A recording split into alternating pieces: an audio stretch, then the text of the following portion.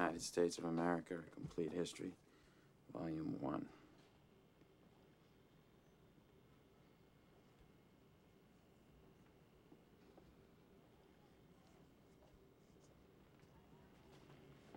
Jesus. You want to read a real history book? Read Howard Zinn's People's History of the United States. That book will fucking knock you on your ass. Better than Chomsky's Manufacturing Consent? You think that's a good book? Fucking people baffle me. What do you think about it? Hey, I'm not here for a fucking book report. They're your books. Why don't you read them? I did. I had to. That must have taken you a long time.